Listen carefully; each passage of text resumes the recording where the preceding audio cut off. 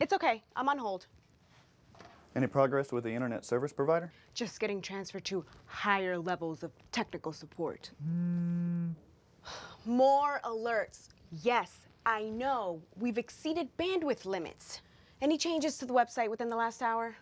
I took care of the alerts. I left my mobile on my desk. Uh, the website is still slow, for the most part inaccessible.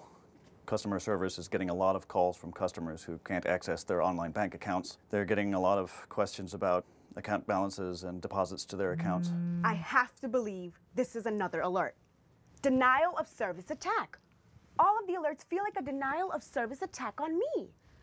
Any success with our online banking service provider? Yes, we've got a URL that'll take customers directly to the transactional website. That should work until the public site is working again. More alerts. Hello? Yes, I'm fine. Thanks. We've got an emergency. What? Yes, I know. I've been on hold for the last 40 minutes. Look, let's not waste any more time. We're being hit by a denial of service attack and our website is down. Hmm. Hold on.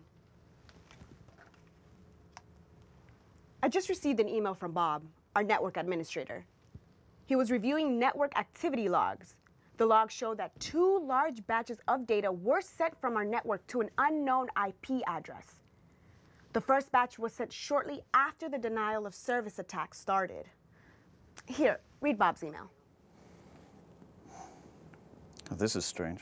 I'll get our ISP to put in some filters to try to control the denial of service attack, then go talk to Bob. We may have something more than a denial of service attack going on. Yes, I'm back. It seems that most of the traffic is coming from other countries. Can you block this or do something to slow down the attack traffic? I need to get the president and marketing VP up to speed on what's going on. I'll go set up a meeting.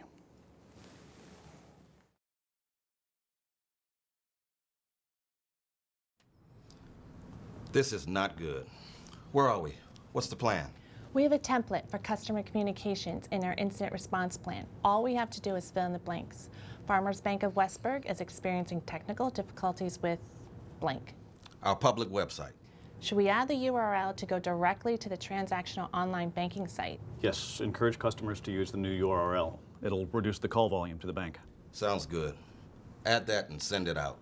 Okay, we have a message to send to our customers.